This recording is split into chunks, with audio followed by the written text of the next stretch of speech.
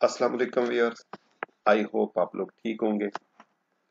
Auto CAD के आज की इस वीडियो में हम कुछ हैचिंग के बारे में बात करेंगे कि हैच में हम ओरिजिन पॉइंट यानी जो हैच का स्टार्ट पॉइंट है, वो किस तरह चेंज कर सकते हैं।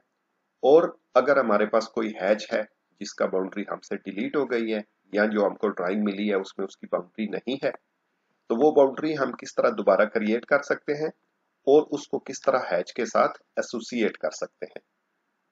तो यहाँ पे, ये देखें मेरे पास एक वाल का एलिवेशन है, लेकिन अगर हम इसकी हैचिंग यहाँ पे देखें तो ये जो फ़र्स्ट लेयर ऑफ़ ब्रिक है, ये यहाँ पे कंप्लीट नहीं शो रहा, ये बिल्कुल एक छोटा सा पीस उसका शो रहा है, जबकि सेकंड लेयर में ये एक फुल ब्रिक शो रहा है।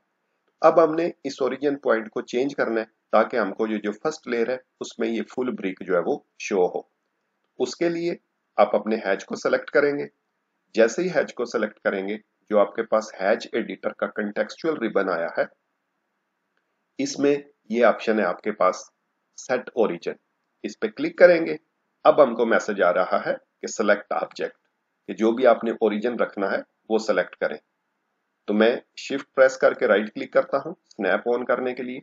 यहाँ से मैं एंड पॉइंट का स्नैप लेके। तो ये कॉर्नर मेरा स्टार्ट पॉइंट है तो मैं यहाँ पे क्लिक कर देता हूँ। लेकिन जैसे ही मैं यहाँ पे क्लिक करूँगा, मेरा ये हैच चेंज हो जाएगा। देखिए, मैंने क्लिक किया है। अब देखें, मेरे पास ये जो फ़र्स्ट लेयर है, ये कंप्लीट ब्रिक्स की आ गई है। इसी तरह आपके पास कोई भी चीज़ है, आपके पास एलिवेशन है, कुछ फ्लोर में कर रहे हैं तो आप उसको चेंज कर सकते हैं, जिस भी ओरिजिन से आप स्टार्ट करना चाहें। दूसरी चीज़, यहाँ पे ये देखें, एक सर्कल है। इसको मैंने हैच किया हुआ है। अगर इसमें सेलेक्ट करके सर्कल को मैं चेंज करता हूँ तो देखें हैच भी उसके साथ चेंज हो रहा है।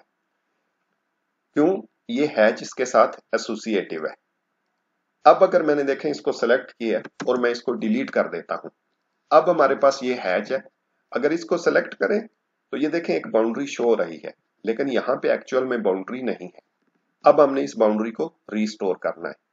देखें, मैंने इसको सेलेक्ट किया है राइट क्लिक और यहाँ पे ऑप्शन है जनरेट बाउंड्री इस पे मैं क्लिक करता हूँ तो ये देखें बाउंड्री जो है वो रिस्टोर हो गई है।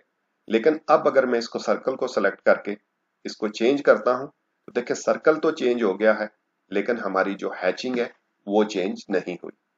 तो इसके लिए अगर आपको एसोसिएटिव बाउंड्री चाहिए आप अपने हैच को सिलेक्ट करें राइट क्लिक और यहाँ से हैच एडिट में आपने जाना है। ये हैच एडिट का ऑप्शन है, इस पे क्लिक करेंगे तो ये एक डायलॉग बॉक्स हमारे सामने आ जाएगा। यहाँ पे देखें, ये हमारे पास ऑप्शन है रिक्रिएट बाउंड्री इसको यहाँ से सेलेक्ट करेंगे। सेलेक्ट करने के बाद आपके पास ऑप्शन आ रहा है कि आपको रीजन चाहिए या पोलीगन पोली लाइन चाहिए। तो रिकमेंडेड जो है, वो पोली लाइन है, लेकिन आप अपनी चॉइस के हिसाब से रीजन भी सिलेक्ट कर सकते हैं। पोली लाइन मैं इसको इंटर करता हूँ। ये देखें सेलेक्ट हो गया। उसके बाद यहाँ पे मैसेज आ रहा है अब। Associate hatch with new boundary yes or no तो हमें ये एसोसिएटिव चाहिए। यस के लिए बाय डिफ़ॉल्ट वाई सेलेक्टेड है। अगर आपने नहीं करना तो आप नो सेलेक्ट कर सकते हैं। लेकिन मुझे ये एसोसिएटिव चाहिए। मैं वाई लिख के एंटर कर देता हूँ। ये डायलॉग बॉक्स फिर ओपन हो गया है। इसको ओके कर देंगे। ये देखें बाउंड्री हमारी क्रिएट हो गई है। अब अगर मैं इसे सेलेक्ट करके चेंज करता हूँ तो ये देखे मेरा हैच भी जो है उसके साथ चेंज हो रहा है। क्योंकि अब ये बाउंड्री के साथ एसोसिएटिव है। तो ये था आज का छोटा सा वीडियो आई होप आपके लिए हेल्पफुल होगा। तो नेक्स्ट वीडियो तक के लिए goodbye see you take care